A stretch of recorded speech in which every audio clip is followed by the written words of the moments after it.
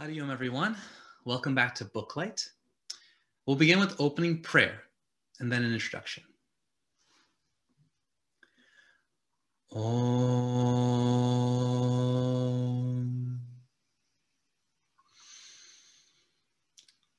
Om.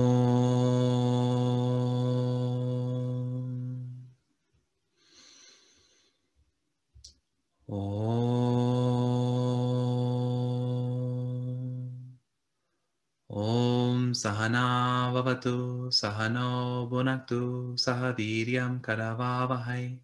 तेजस्विनावधीतमस्तु मा विद्विषावहै। ॐ शान्ति शान्ति शान्तिः। समस्तजनकल्याणे निरतं करुणामयं नमामि चिन्मयं देवम्। Sadgurum Brahma Vidvaram. Howdy, everyone. Welcome to part three of the second series of Booklight. For those of you who have been following with us, we're taking separate sadhanas from Sadhana Panchakam, a set of 40 sadhanas given by Sri Adi Shankaracharya to his disciples. Within each week, we'll see a satsang by Shubhaniji, then a Chyk exclusive discussion, and then three of our Chyks will come and present their findings on the verse. We'll chant the first verse, lead and follow, and then we'll get started with our first speaker. Sahana, are you ready? Awesome. Ready. वेदो नित्यमधीयताम्। वेदो नित्यमदीयताम् तदुदितं कर्म स्वनुष्ठीयताम्। तदुदितं कर्म स्वनुष्ठीयताम्। तेनेशस्य विधीयताम्। तेनेशस्य विधीयताम्। अपचितिः काम्ये मतिस्त्यज्यताम् अपचितिः काम्ये मतिस्त्यज्यताम् पापोगः परिधूयताम्। आपौगः परिधूयताम्। भवसुखे दोषोऽनुसन्धीयताम्। भवसुखे दोषोऽनुसन्धीयताम्। आत्मेच्छाव्यवसीयताम् आत्मे निजगृहात्तूर्णं विनिर्गम्यताम्। निजगृहात्तूर्णं विनिर्गम्यताम्। Now once all together. वेदो नित्यमधीयताम् तदुदितं कर्म स्वनुष्ठीयताम्। तेनेशस्य विधीयताम् अपचितिः कामे मतिस्त्यज्यताम्। Papoga paridhuyatam bhavasuke dosho nusandhiyatam आत्मेच्छाव्यवसीयतां निजगृहात् तूर्णां विनिर्गम्यताम् Sahana, I keep going high. uh, good to see all of you. And for those of you who are tuning in on Facebook, good to see you too. Join us on Zoom if you would like for a more interactive experience. So now I'll introduce our first speaker for this evening, Divya. Divya is currently residing in Vancouver and is a recent graduate from medical school. Here to share her thoughts now on the second pada of the first on the second half of the first pada, Divya, I'll hand it off to you. Hariyom. Thank you, Amarji. Om Shri Chinmaya Sadgurave Namaha. Everyone. Thank you very much for this opportunity to truly dig deeper into a small but packed sadhana from Sri Adi Shankaracharya in Sadhana Panchakam. So, Taduditam karma svanushthiyatam. Tat means that, referring to the Vedas, as was talked about in the first sadhana in, of Vedo Adiyatam. Uditam has a few different meanings, including signified, indicated, or even experienced by. Karma means duties, responsibilities, or actions, and swanushtiyatam meaning to perform diligently. So putting it all together, this means perform diligently the duties ordained by the Vedas. The first two questions that arose when I read about the sadhana were what is karma and how do I determine my karma? So to address the first question, karma in this context means respons- responsibilities or actions, as I mentioned earlier. But there is more to it than just physical action in Advaita Vedanta. In Gurudev's commentary of chapter 4, verse 16 and 17 of Bhagavad Gita, he emphasizes the importance of understanding that action has two parts the physical action as well as the mental, mental intention or motive behind the action the mental intention has the power to drastically improve the quality of the actions. Now, to answer the second question of how do I determine my karma, Shubhaniji provided a lot of information in her discourse. This really challenged me to connect a lot, all of the information in a meaningful way in order to apply it effectively to my own life. One of the key points I took away was that the Vedas provide a general framework, and it is our job to take that framework and customize it to our own journey. As I'm a very visual learner, I wanted to begin by walking through a diagram of what we learned. Then I'd like to use this framework to go one step further to make this applicable to us through some examples of real people. So I'm going to share my screen. And please let me know if you can see this.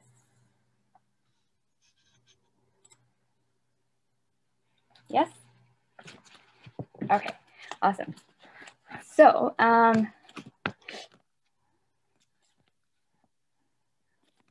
there are two major branches to consider to help us determine our karma, our actions, specifically our niyata karma.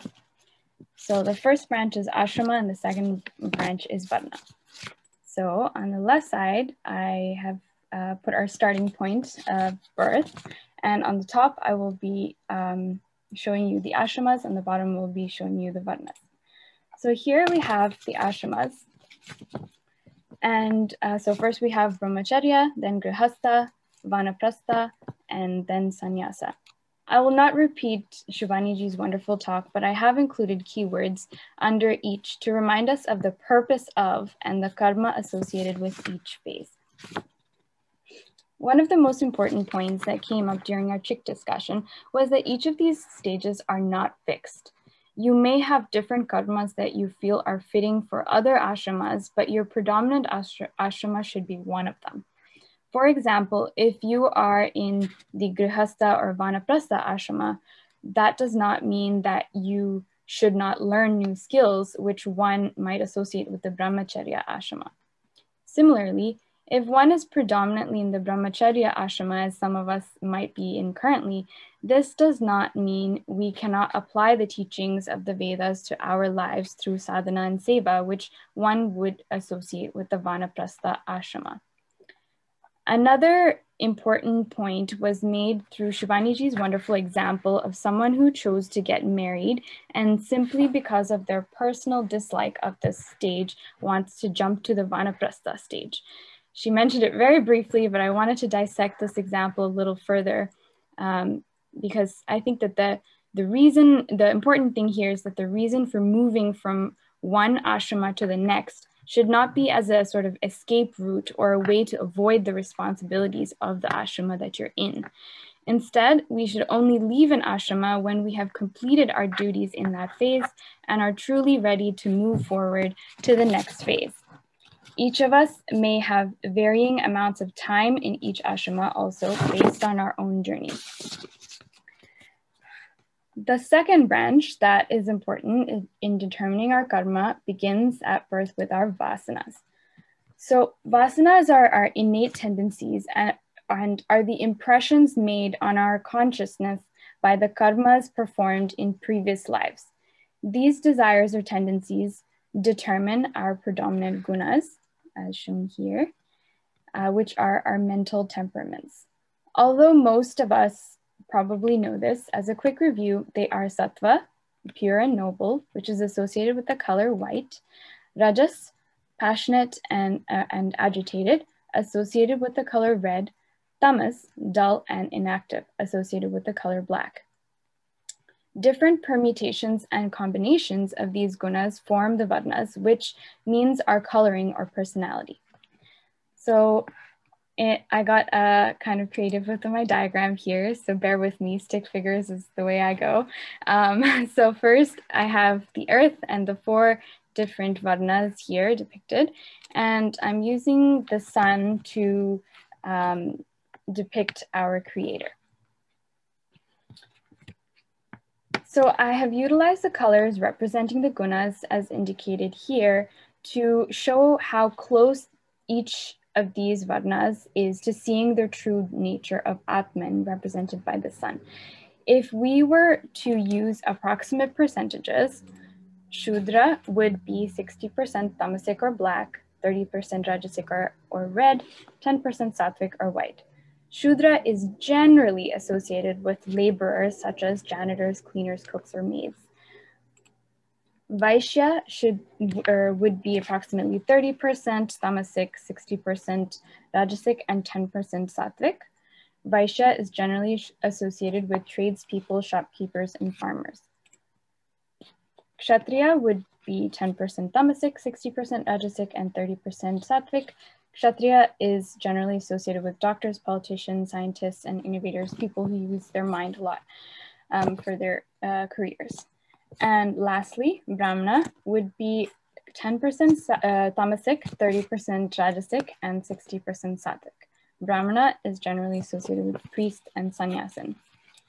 Now, if you imagine that each of these stick figures representing each varna is looking through their combination of colors representing their mental quality or guna, how much light would they be able to see from the sun in this diagram representing the creator? Well, the sattvic predominant Brahmana um, has less color to see through because white is also associated with the Atman. So just the red, the little bit of red and black that they have. So they're able to see uh, themselves a little bit more as one with the creator. Whereas um, the tamas predominant Shudra has more color to see through to see themselves as one with the creator. Another point I wanted to bring up is that you may or may not have noticed that I have done my best to use a horizontal approach instead of a vertical one because many of us have a tendency of creating hierarchies, which gives off the feeling that one is superior to another. I wanted to emphasize that all of these varnas are necessary parts of a functional society and one is not considered above another. I wanted to pause briefly here to talk about the true meaning of varnas. For generations, varnas were misrepresented into a labeling system that people were given at birth based on the varna of the family they were born into. Although many of us probably understand this now, there appears to still be some confusion on this. So to very clearly move away from this mentality, Sri Krishna states clearly in chapter 4, verse 13 of the Bhagavad Gita, Chatur Varnyam Maya Srishtam Gunakarma Vibhagashaha. Chaturvarnyam, or the fourfold caste system, Maya Srishtam, meaning has been created by Krishna, Gunakarma Vibhagashaha, according to the differentiation of guna and karma. This essentially means that the varnas or fourfold caste system of an individual was to be determined by the mental quality or gunas and physical action or karmas. Therefore, your birth to parents who were labeled as brahmanas by this misused system for years could or does not determine that you are one. Also, no physical markings obtained during life can determine this. So now putting these two branches together, we can determine what our niyata karma is which is a combination of nitya karma, meaning our daily duties, and naimitika karma, meaning our occasional duties. Now, let's go through a couple different examples and feel free to write your answers in the chat box if you wish. So my first example is a middle-aged single father who works as a waiter in a coffee shop. So which ashrama do you think he would be in?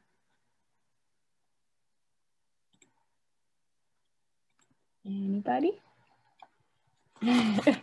I can't really see the chat box with this, but I'm gonna say that, uh, oh, actually, I do see a couple. Yes, grihastha, absolutely. So um, next, which varna do you think he would fall under?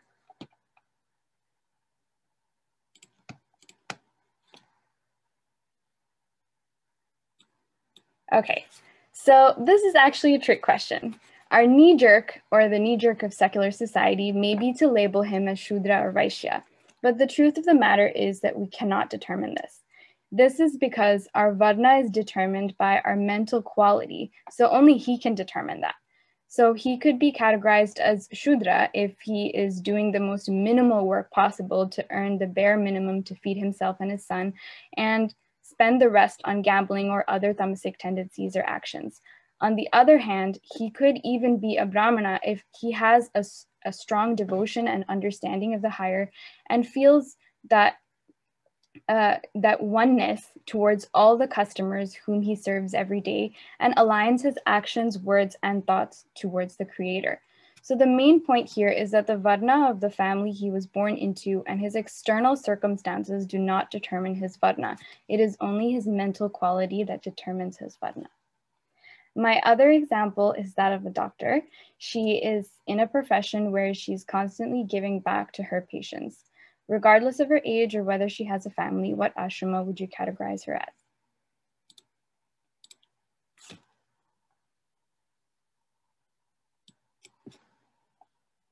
So she would also be in the grihastha phase because she's working and giving back to her community and supporting um, supporting other uh, people in the society. And what varna would you classify her as? So I hope you all got the idea from the previous example.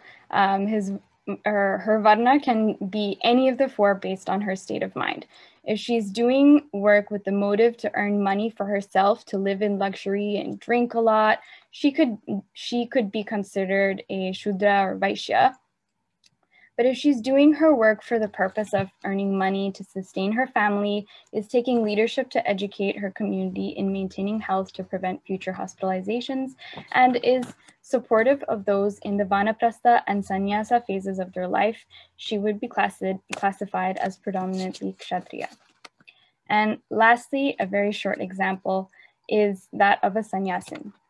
Their, uh, their ashrama would be classified as sannyasa, but whether or not they are under the Varna of Brahmana is dependent on, again, the quality of their mind.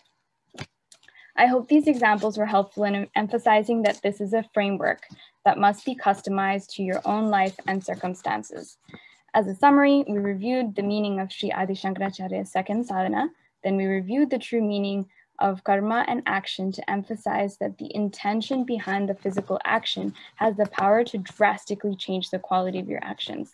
We then went through a pictorial representation, a rather rudimentary one on my part, um, to review the framework and determine our niyata karma and went through some examples to hopefully be able to understand how to customize this to our own lives.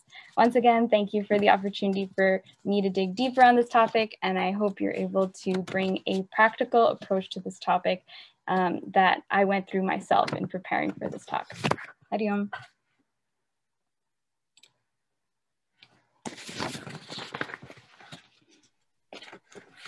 Awesome, Divya. Thank you so much for sharing.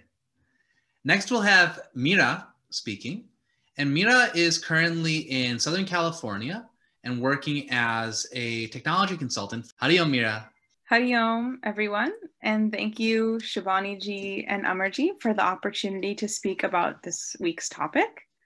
In my talk today, I will be discussing Swadharma, or one's duty or dharma, Paradharma, or the dharma of others, uh, Vedas as a guideline for our lives, some examples of Swadharma, and important points about Swadharma from different gurus. Finally, I will be discussing a reflection activity that I've been practicing recently in order to help guide myself towards finding my Swadharma. Uh, so with that, I'll begin. Tat uditam karma swanashtiyatam. This is the second half of the first line of the first verse of Sadhana Panchaka, written by one of our gurus, Sri Adi Shankaracharya ji. The phrase, though quite short, is full of deep meaning about our purpose. It means whatever karma is prescribed by the Vedas, whatever actions you are to take, you must do them diligently and with the right intended purpose.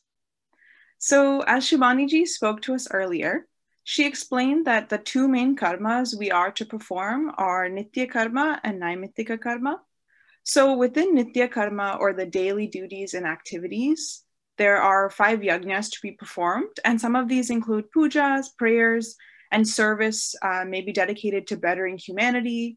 So, in fulfilling Naimittika karma, we take responsibility to perform actions um, on rare occasions, like a marriage. And then other karmas that we should not actively or regularly need to perform are kamya karma or actions that are prompted by desires, nishiddha karma or adharmic actions that should be avoided altogether, and prayaschitta karma, which are actions done for atonement of adharmic acts. So, as we reflect on our daily karmas and the karmas we should be doing, as well as our intent behind performing each action, we have to remember that an important tenet of Advaita Vedanta as a philosophy is about evaluating our potential responses to like external stimuli. Basically, what this means is that each day we're tasked with determining which choices will allow us to stay on the path of Dharma and continue, you know, to work towards purifying our minds in order to reach the ultimate truth. However, we can't necessarily seek out the Vedas for a one stop answer like one might do with another religious text in another faith. Because the Vedas and Shastras only provide us with guidelines for making decisions. We ourselves must figure out where we fit applications of these guidelines to our daily lives. So, for example, the Vedas can provide a basic framework for following duties diligently, but they don't expand on what duties to do and how to determine your diligence specifically as it pertains to your individual circumstance. So, for this reason, whatever may be your duty or dharma, sometimes it may neither feel like the best choice nor the easiest choice. And a good example of this, sort of classically, is the situation where Arjuna speaks to Bhagwan Krishna on the battlefield. Um, he questions how it can be his dharmic duty to fight in a war against his cousins, the Kauravas, because he could cause them harm or even kill any of his relatives. So Sri Krishna responds to him that as Arjuna is a Kshatriya, his duty as a Kshatriya may not be the easiest to fulfill, especially in his case, but it is an important step in that context to free the people from a tyrannical rule. So this example is, is important because although we are not ourselves soldiers facing those kinds of circumstances, the concept of performing your duty may also draw similar controversy in your mind, but you have to remember that your you know, duty or dharma should be performed and achieved with great diligence. So as we attempt to determine how best to apply these different ideas to our daily actions, we can think of Vedic philosophy like a prescription. So if you think about it, Vedic philosophy and thought frameworks are like directions for achieving the best health, both mentally and physically, but it's not a quick fix or short term medication like a pill. It's for our long term benefit to study the Vedas and change our behaviors and take action to preemptively avoid negative results, not simply just to treat the problem after it arises. So, in that same manner, when we look inwardly and introspectively, we can see that our actions may be dictated by our gunas, and our gunas may lead us to engage in our swadharma, meaning, you know, our dharma or duty. So, in this context, it's important to note that Swadharma is our field of expression, like Shubhaniji spoke to us about. It's not necessarily our career or our talent. It's not really a hobby either or something that we've cultivated out of practice. Um, it's an expression or a process that is essentially transmitted by sharing knowledge. We should stay within our swadharma because when that karma is performed well, it will benefit not only ourselves, but the others around us. This sort of belief is a core value of Sanatana Dharma, and it's exemplified in the saying uh, Sarve Jana Sukhino Bhavantu meaning let all the people be happy. Discovering our own capabilities and performing them selflessly is the ultimate goal of our lives. And it is also important to remember that our faith deals with realities rather than illusions. So Swadharma is not like a destiny, but it's a it's an amalgamation of our capabilities, which allows us to live out our potentials and benefit the world around us. Um, what's important here is that the Bhagavad Gita tells us not to take up paradharma, meaning the dharma of others, no matter the merit involved. Uh, in Srimad Bhagavad Gita, chapter 3, verse 35, uh, Lord Krishna says to Arjuna that it is better to perform one's natural prescribed duty, though tinged with faults, than to perform another person's prescribed duty, though perfectly. It is, in fact, preferable to die in the discharge of one's duty than to follow the path of another, which is fraught with danger. In addition to this thought, Mahaperiyava, 68th pontiff, uh, in one of his teachings chronicled in Deivathin Kural, which means voice of God in Tamil, he emphasized the practice of swadharma and shuns paradharma. Meaning, if someone chooses paradharma for his own personal gains, he's said to be sort of giving in to desire and swaying from the right path of dharma. Uh, kind of building on this point, Sri Aurobindo also clarified in Essays on the Gita, he says that all human work is subject to fault, defect, or limitation, but that should not make us abandon our own proper work and natural function. So our swabhava and our swadharma together give us clues to find the work that we need to do. So using those clues, the work that we will do will sort of give us joy. It will also be done well, and it will also be useful for others. You know, if we give ourselves to this occupation with true conscientiousness and perseverance, then we will discover our inner calling. So the application of Vedic philosophy and discovering Swadharma is evident in many real life examples as well. Several great personalities have also discovered their true callings this way. Uh, for example, Mahatma Gandhi, while working as a barrister in South Africa, was once ejected from a train. Shivering through the wintry night in the waiting room of the Peter Pietermaritzburg station, Gandhiji found his Swadharma to fight colonial oppression and ultimately lead the nonviolent struggle for the independence of India. So this discussion of complex ideas like karmas and gunas and swadharma really drives home one important question. How do we seek out swadharma, our swadharma, and perform it diligently? Right, so it's a certainly challenging task to find our swadharma and sort of stick to it, especially in that particular time period of your life. Well, we have to determine our natural aptitude and our place in society while also combining our innermost tendencies. Well, that requires a great deal of internal reflection and a genuine effort to remove our sort of kamya karma or our desire induced actions. So the pursuit, sort of finding swadharma, involves sort of sticking to our particular phase in life. So whether you're a brahmacharya or otherwise, and working on our chosen swadharma to reach our maximum potential. Personally, as a young adult, I'm still trying to figure out what my swadharma is. So I am working full time now, but I'm yet to find my swadharma my phase of life as a brahmacharya. I've started performing a reflection experiment every week by logging my daily activities and then doing a reflection at the end of the week to determine which activities have provided myself and other people the most meaningful and fulfilling experience. Trusting yourself to guide you on this path towards finding and fulfilling Swadharma is not easy. And I myself am definitely still in this process. But when I have been doing this reflection activity, you know, I've been finding that it is deeply reflective and it's an organized way to sort of manage my thoughts and emotions. Um, with that, I definitely encourage all of you to try the same practice as well this week if you can. Um, so sort of to conclude, you know, today we've discussed Swadharmas, Vedas as a prescription for life, examples of Swadharma in Vedic philosophy, the dangers of taking up Paradharma or the Dharma of other people, um, we've also discussed Swadharma as it has been sort of dictated by different gurus.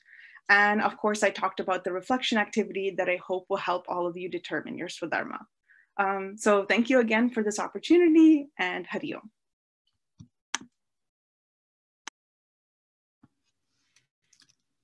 Hari thank you for sharing. And now we have Shrikant, who was taking the final um, perspective on this uh, verse. And Shrikant is currently a biomedical engineer working in New York City. So, Hariyam Shrikant.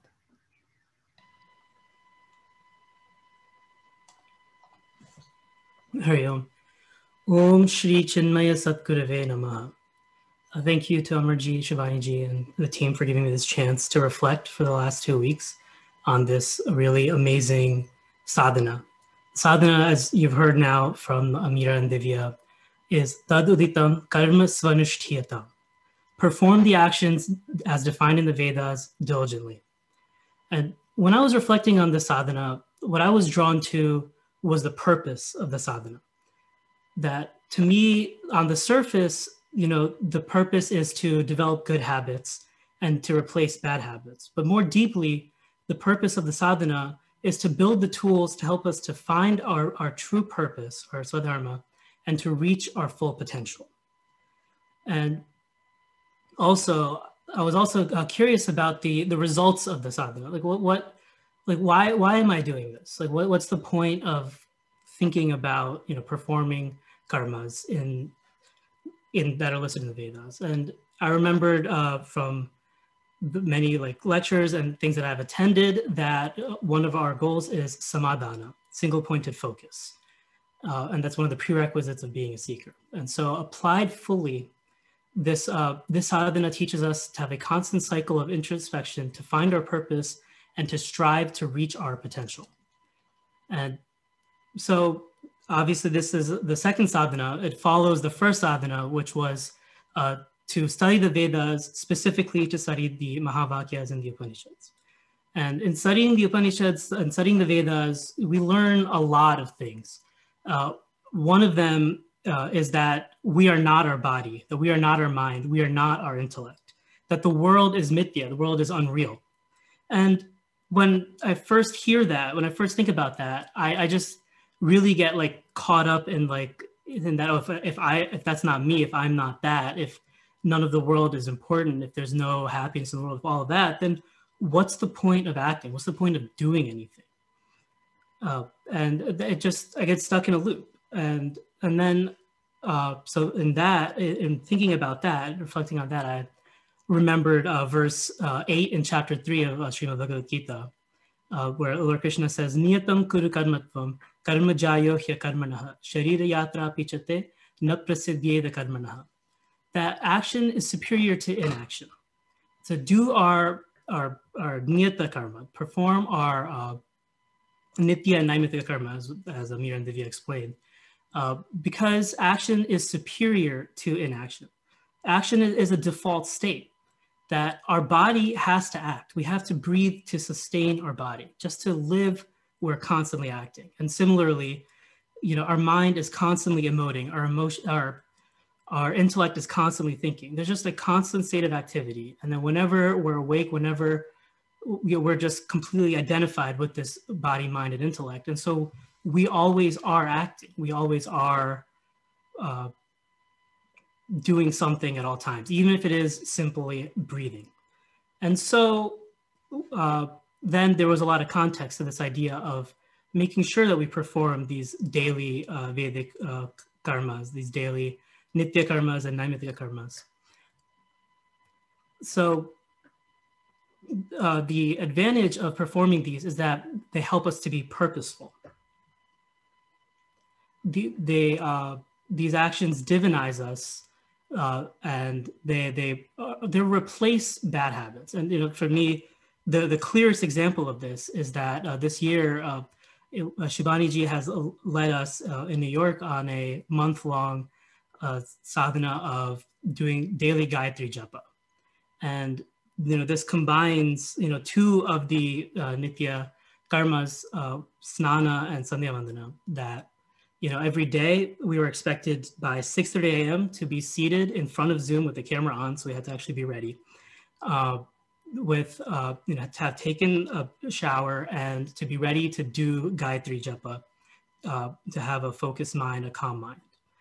And uh, it was really challenging for me to do this because it's not just getting up early, which you know I do for work pretty much, but it was also to be ready early and to get up earlier than I really wanted to, and then also to do it every day. I'm not used to waking up on the weekends.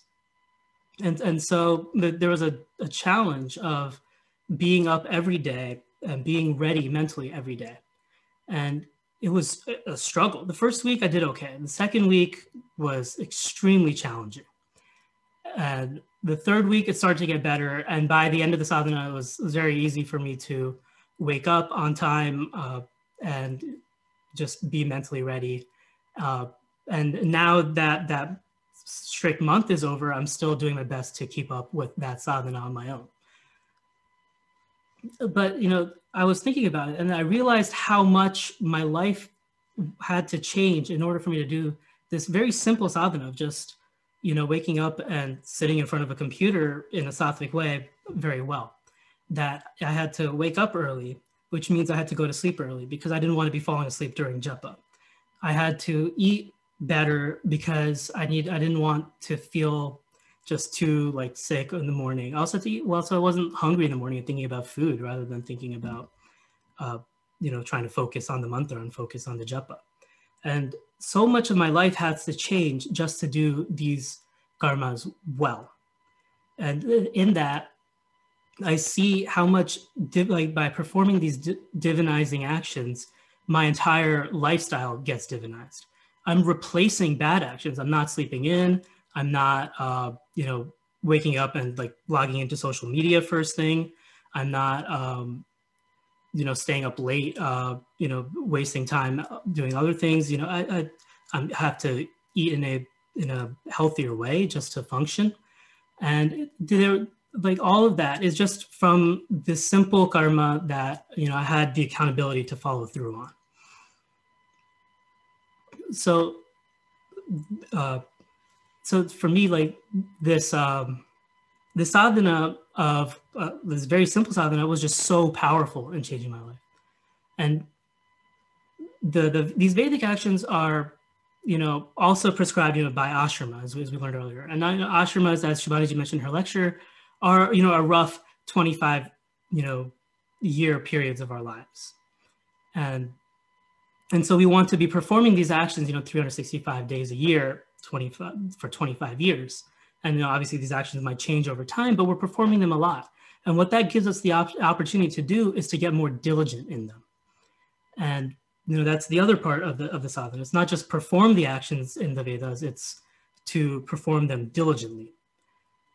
It's uh, and to me, I understand diligence as the alignment of thought, word, and action that if I want to do japa, it's to focus on uh, uh, on actually being mentally fully present in japa. And we learned so much about, you know, focusing, you know, uh, just on the maybe if we're doing a japa of a Ishtadevata to focus on the the the form of the of the of the Ishtadevata, then you know only part of the form, maybe like the face, and then just the eye, and then just slowly narrowing our focus until we get to that single pointed focus and you know if we and i think that this diligence uh, doesn't come linearly and it doesn't come quickly.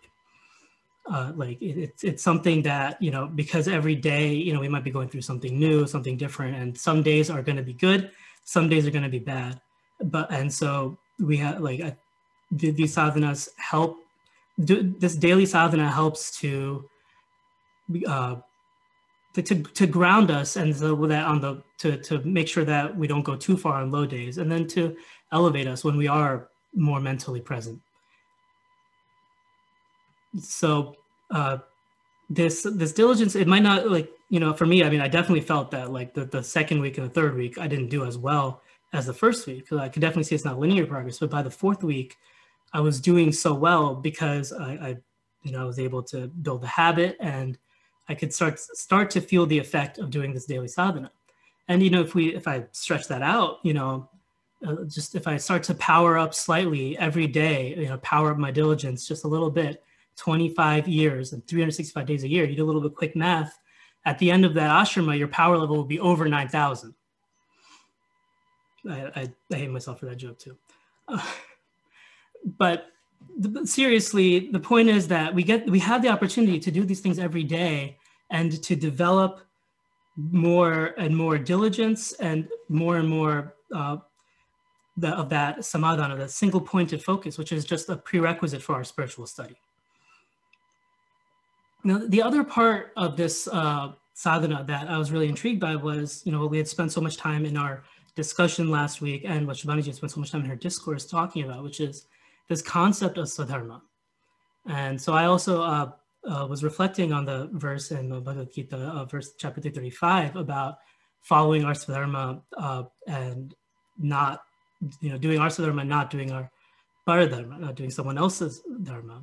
And you know, I, I was really intrigued by that because, you know, we hear so much about what we're supposed to do, you know, from well wishers, but from other people all around us, from our parents, from our friends, from our communities, that, you know, from the biggest decisions like our career, from the to the smallest decisions like how we should, you know, cut our hair. There's just so much influence from everyone.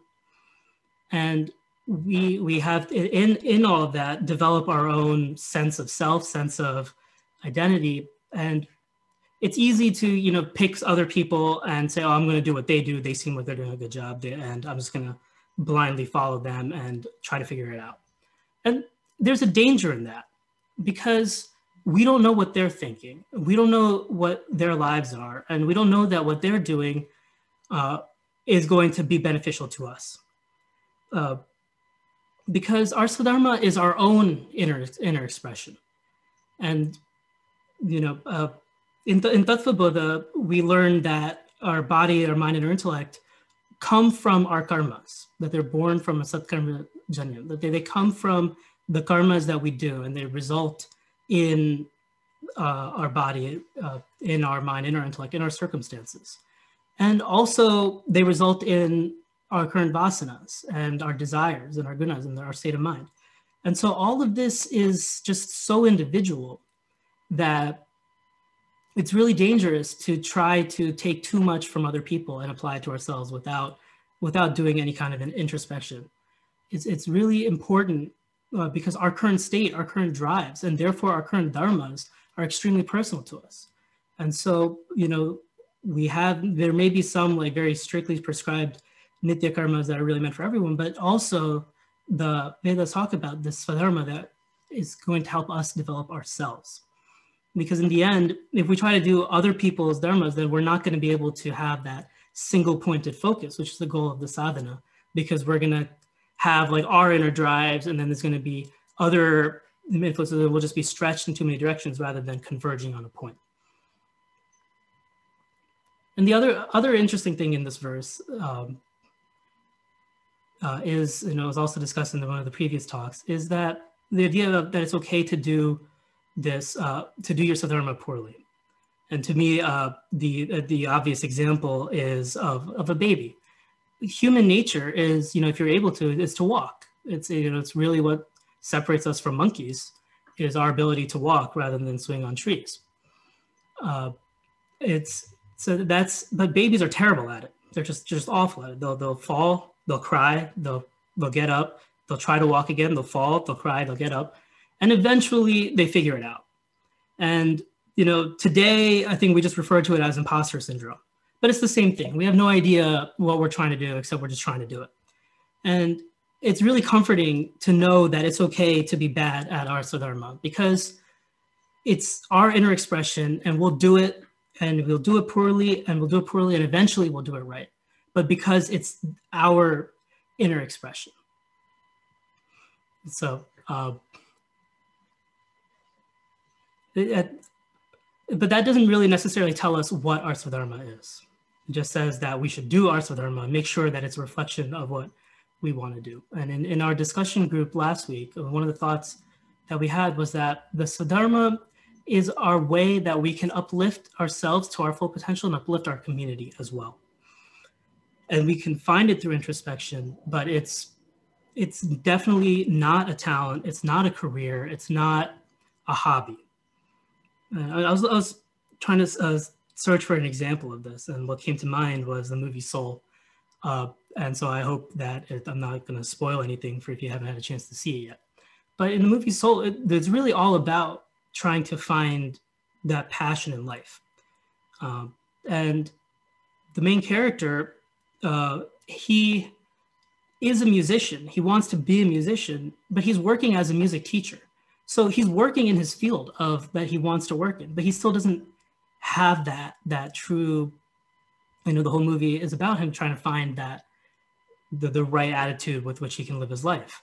And so I think that that example to me shows that the Swadharma is not uh, the, your career. I mean, it's not your talent because he had his talent, he had his career, he was you know getting promoted as a teacher, but he still wasn't uh, happy in that because it just it wasn't it wasn't enough for him. But it was only uh, when he was able to use, you know, to, be able to help uh, 22 to help the um, the people around him, then was he able to really um, find that happiness, find that right attitude to life. So in, in the in the same way, you know, we we need to find our our swadharmas uh, that it'll rely perhaps on our talent. It, will rely on our talent because if we're trying to help people, we can only do it our way. If we're trying to live to our own potential, it'll only be our way. It'll rely on our talents. It'll rely on growing our talents, developing new talents. But our swadharma is still independent of that because it's about how we use what we have, our talent, our circumstances, our hobbies, our professions, everything to serve uh, others, to live up to our full potential. And, and by having that goal of service, by having that external goal, of, maybe not external, but uh, outside of our ourselves, um, then it'll minimize the amount our ego grows, even as our talents grow. And so that that's the added advantage. So uh, uh, just to, to, tie everything all together, uh, the goal of this Swadharma is to find our inner expression uh, in a way that helps people, in a way that serves others, uh, but still channels our own uh, our own talents, our own vasanas, our own desires in a way so that we can develop the the right mental attitude to life and the right uh, uh, mental focus and clarity that we need in order to be seekers. Uh, so by doing our, our dharmas, by, by following our dharma, by doing our nitya naimitika karmas, we will develop the samadhana we need to be effective seekers. You? Hari Om Shrikant, thank you for sharing. Um, you're also the first person I've ever seen make a Dragon Ball Z reference during the middle of a Chinmaya Mission presentation. So thank you also for that. Everyone in the Zoom room, we all we all saw what happened. Anyway, um, now we have a little bit of time for a Q&A. Um, if you have any questions for any of the speakers, uh, please share them in the chat or message me privately and we'll make sure that we get those questions asked. We have a little bit of time. So please feel free to ask.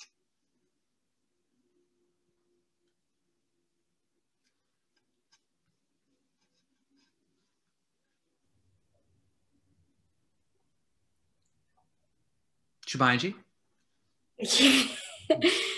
yes, I will ask. Um, how, I, I want uh, to know maybe from the three of you. So I know, uh, you know, I think Mirai spoke about introspection on finding your swadharma. Can you elaborate a little bit? Because I think many people want to find their swadharma and want to know how to find it. So can you elaborate a little bit more on like the process or the procedure that you follow? Thank you, Shubhani ji, for your question. So, in terms of finding your swadharma, I think that's something that I myself am also trying to figure out still. And so, I think for me and for most of us, it's like finding what our swadharma is, but also um, kind of like reflecting on our day-to-day actions and that's kind of how i've been sort of following the process so what i do in my reflection activity is like every day i at least try and sit down and think of some of the things that i've done through the day that might have a broader meaning or has brought some kind of value to somebody else's life or my own life and i kind of start thinking about those things and at the end of the week i've been really sort of honing in on what are those activities what are the passions behind those activities like why am i doing those actions and i think in doing so that really allows me to reflect on like okay why am i doing these things is it because i really enjoy them or because i feel like I'm adding value to someone else's life. And I think in finding deeper meaning, like that sort of brings me closer to figuring out what exactly is my swadharma um, and kind of why I'm on this earth to do a certain thing, essentially. Hmm. No questions. Amarji, there's a question here. Hmm. Um, is there an overlap between the ashramas? Is there an overlap between the ashramas? Um, Divya, I think I'll point that one to you. Um, so I briefly talked about this in my talk, but um, basically there's kind of one ashrama that you are predominantly going to be in, but you could have varying levels of all uh, little aspects of different karmas from the other ashramas as well. So um, so I take myself as an example. I'm kind of at the very end of the brahmacharya stage and I'm getting ready for the grihastha phase of my life. And right now I'm engaging in sadhana and looking for ways to do seva. And that would be considered something that's in the vanaprastha stage. So I think that you can always have components of the others, but your main kind of the majority of your activities that are going on in your day-to-day life would be in one ashrama mainly. Very nice point. Uh, one other point to also add on is that while we have this nice progression, um, we can also jump from the first stage to the fourth stage. Not everyone has to go through these four stages. If one has cultivated enough viveka and vairagya through thinking and detachment, they can jump to the sannyas stage during their studentship. Meaning, I have no desire for, you know, partnership or for uh, for children, etc. I'm simply ready to move on. You know, I'm simply ready to make moksha my one true only purpose. Um, and also within that, uh, moksha is the goal for all of us. Moksha is the goal for all of us. So while we also see sadhana and moksha at the very end, that doesn't mean that we can't do sadhana, or we can't do seva, as Divya was so aptly mentioning. Any other questions?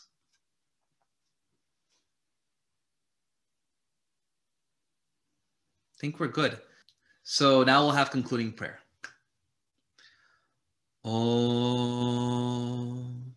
Purnamada Purnamidam Purnat Purnamudachyate Purnasya Purnamadaya Purnameva Vashishyate Om Shanti Shanti Shanti Hari Om Shri Gurubhyo Namaha. Hari Om